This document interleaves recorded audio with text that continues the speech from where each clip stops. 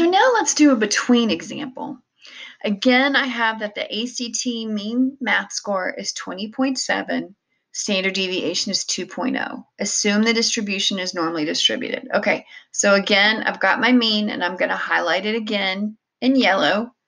Standard deviation of 2, I'm going to highlight that again in green because I just want to keep everything straight. And it's saying it's normally distributed. So I've got that in blue. Okay, but now I've got something. Find the probability that a randomly selected student has a math ACT score between 18.4 and 23.9. Okay, we haven't seen one of these before, but it's saying between, which means I have two values. So think about it this way if you stand between two walls, you have one wall on one side of you and one wall on the other side of you.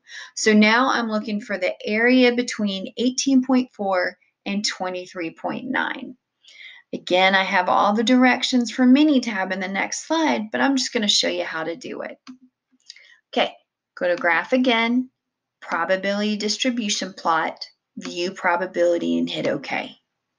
I've got my mean of 20.7, my standard deviation of 2.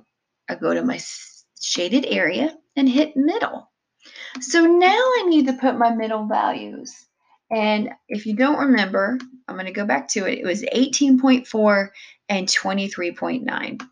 So I go 18.4 and 23.9. And it's sitting in the middle, which is great. And again, I have two values. So I hit OK. And look, it gave me this graphic where 18.4 and 23.9, and the area in red is the area I'm concerned about, and it gives me 0.8201. So what does that mean? So that means that the pro, excuse me, let me go to the final slide. The probability that a randomly selected student has a math ACT score between 18.4 and 23.9 is 0.8201. If I said what's the percentage, I would convert 0.8201 to a percentage and it would be 82.01. So that's how you do the between. The tail scenario is a little tricky, but it's easy once you get it. So again, I'm looking for the scores of students, and I'm still using the ACT with the mean math score of 20.7. Again, I'm going to highlight it in yellow to be consistent, and a standard deviation of 2. I'm going to assume the distribution is normally distributed. Okay, so then I want to find the probability that a randomly selected student has a math ACT score less than 18.6 and greater than 22.3. Okay, it has a less than and it has a greater than in it. Yes, you could do these separately and add them together. I think that's kind of tough and it can get a little bit confusing. So let me show you what we're going to do. Again, it's saying it's less than 18.6 and greater than 22.3. So my first step is I'm going to go back to graph, probability distribution plot, and hit view probabilities.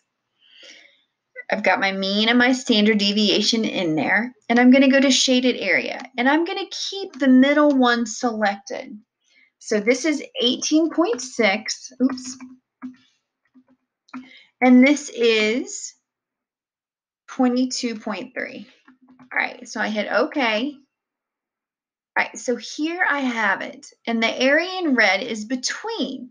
But what I wanted was the area in white. I wanted the area less than 18.6 and greater than 22.3. So let me go to the slide that explains what I did.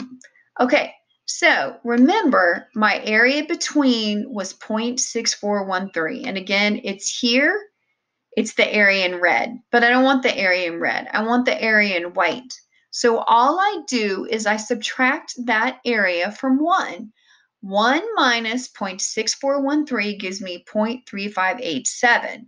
So the probability that a randomly selected student has a math ACT score less than 18.6 or greater than 22.3 is 0.3587. So there I have it. I have the answer, and again, I have it here for you on here. But again, I'm not looking at the red, I'm looking at the white portions of this.